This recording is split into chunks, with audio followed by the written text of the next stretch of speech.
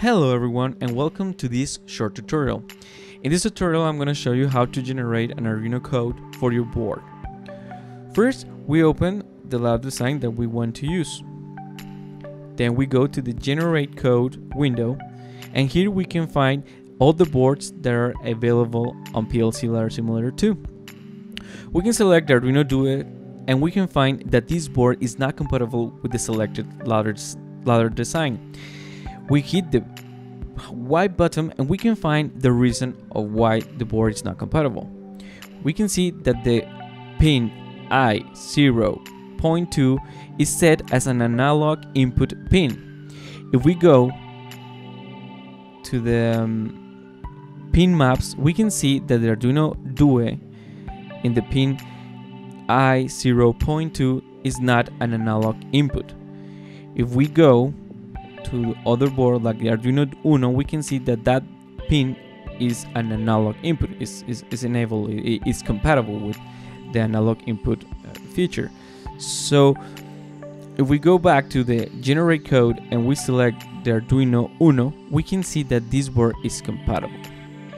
Then we press the generate button and the code is generated.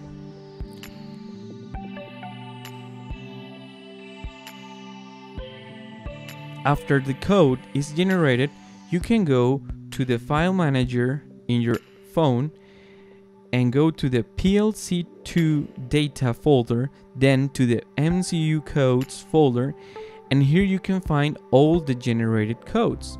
In this case, the one I just create or generate.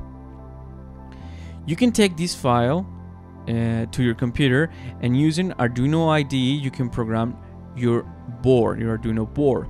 Or you can also program your Arduino board using your Android phone. How?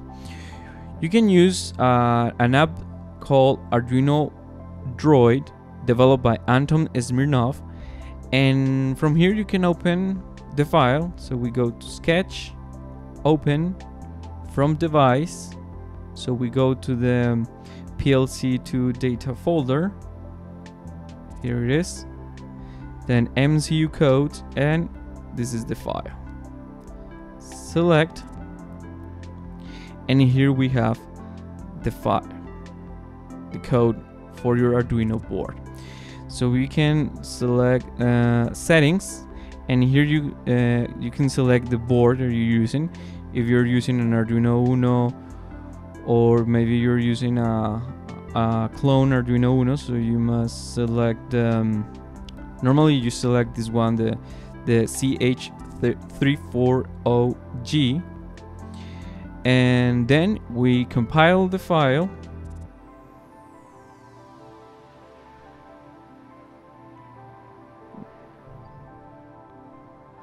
Once the compilation is finished, you need to connect your Arduino board using an OTG cable and once you connect it you press the download. But in this case I don't have nothing connected to my phone. And that's how you can connect can you can program an Arduino board using your Android device